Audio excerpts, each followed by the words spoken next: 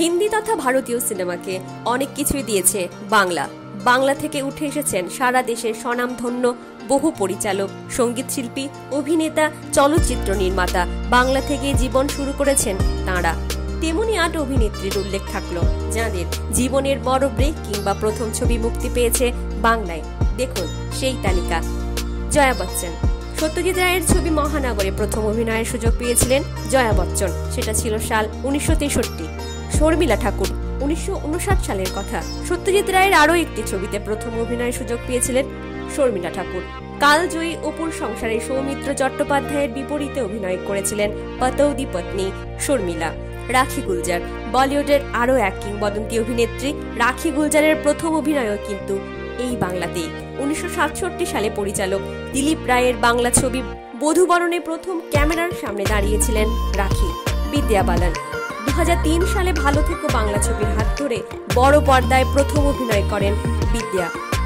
চরিত্রের নাম ছিল আনন্দী। জাতীয় পুরস্কার পেয়েছিল ভালো থেকো। সেরা অভিনেত্রীর পুরস্কার জিতেছিলেন বিদ্যা বালান। যে কারণে বাংলার সঙ্গে গভীর টান অনুভব করেন বিদ্যা। রানী মুখোপাধ্যায়।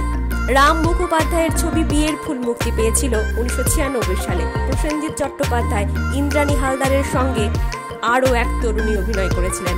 তিনি আর কেউ নন, রাম মুখোপাধ্যায়ের কন্যা রানী মুখোপাধ্যায়। এই ছবিটি রানীর জীবনের প্রথম অভিনীত ছবি। কঙ্কনা সেন শর্মা, অপর্ণা সেনের কন্যা বলিউডের এই প্রতিষ্ঠিত অভিনেত্রীর যাত্রা শুরু হয়েছিল বাংলা থেকেই। দু হাজার সালে পরিচালক সুব্রত সেনের এক যে আছে কন্যা ছবিতে মুখ্য ভূমিকায় অভিনয় করে বড় পর্দায় পা রেখেছিলেন কঙ্কনা। রাধিকা আপ্তে মারাঠি অভিনেত্রী রাধিকা আপ্তেকেও জীবনের বড় ব্রেক দেয় বাংলায়। পরিচালক অনিরুদ্ধ রায় চৌধুরীর ছবি অন্তহীনে অপর্ণা সেন, রাহুল বোসের সঙ্গে কাস্ট করা হয়েছিল রাধিকাকেও।